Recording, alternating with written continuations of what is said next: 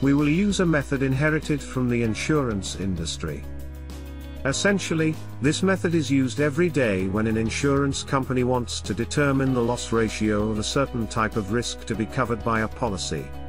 This is the method by which an insurance company performs, among other things, the pricing of its products, the coverage and contractual specifications such as deductibles and limits, etc. It is a fundamental model of this industry. Thus, the frequency severity method, in its original form for the insurance industry, is an actuarial method for determining the expected number of claims an insurer will receive during a given period of time, and how much the average claim will cost. The frequency severity method uses historical data to estimate the average number of claims and the average cost of each claim. The method, in a way, multiplies the average number of claims by the average cost of a claim.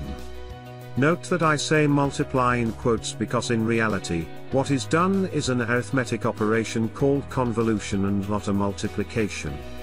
I will later explain this in detail. In the frequency severity method, frequency refers to the number of claims that an insurer anticipates will occur during a given period of time.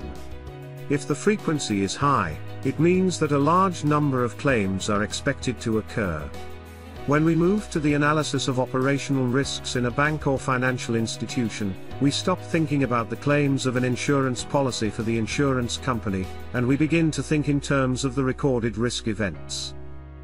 However, the concept is the same, how many risk events occur per unit of time, one year, for example.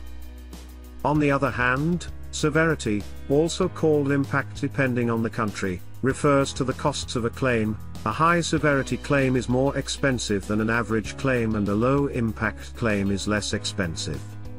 Again, think in terms of the severity or economic impact of the operational risk event and not necessarily the loss in the insurance policy. These are the two dimensions that we want to capture in a risk register. The idea is then, that the historical information compiled in a risk register allows us to calculate, for the entire banking or financial institution, the frequency and severity of operational risk events according to the administrative unit or according to the category of risks involved. In this way, to capture the dimension of a risk, fundamentally what we must consider is, on the one hand, its frequency, that is, how many times will the event happen during a year, and then its severity. For each of the events that occur, what will be their severity? This does not mean that we should multiply the frequency by the severity to obtain the magnitude of the risk. As we will see later, when we introduce the topic of convolution, a simple multiplication of the number of events, frequency, by their severity would not correctly generate the correct magnitude. A correct way to build a risk quantification model takes this into account by using this convolutional mathematical operation.